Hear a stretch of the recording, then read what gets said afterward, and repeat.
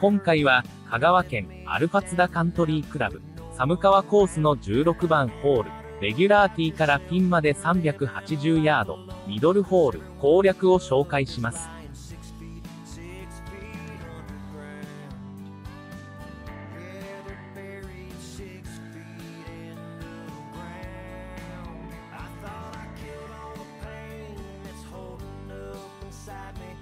ティーショット、やや左にカーブした、打ち上げていく距離のあるパー4。ティーショットは、前方のスタート小屋を目標にして、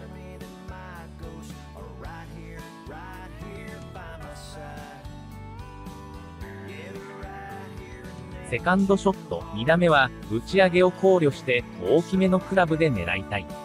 グリーンは、上から速い。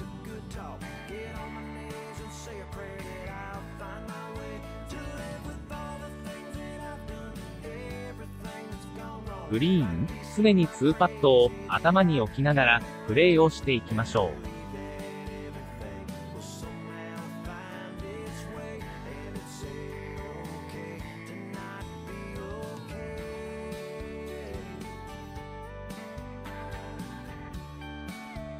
寒川コースの16番ホールは、パー4。レギュラーティーからピンまで380ヤード。ハンディキャップは2、やや左にカーブ、打ち上げていく距離のあるミドル。難易度は9ホール中1位。平均スコアは5.66。平均パット数は2.08。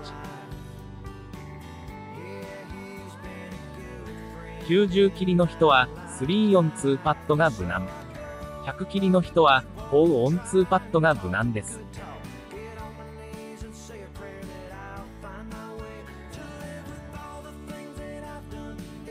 寒川コースの16番ホール、パー4、レギュラーティーからピンまで380ヤード。ティーショットの攻略ポイントは、やや左にカーブした打ち上げていく距離のあるパー4。ティーショットは前方のスタート小屋を目標にして、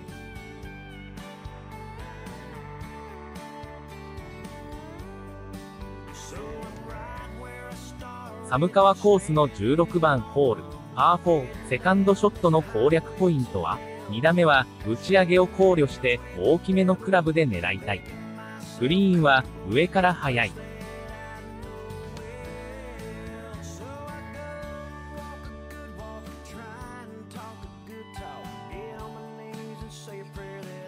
寒川コースの16番ホール、パー4、グリーン、常に2パットを頭に置きながら、プレーをしていきましょう。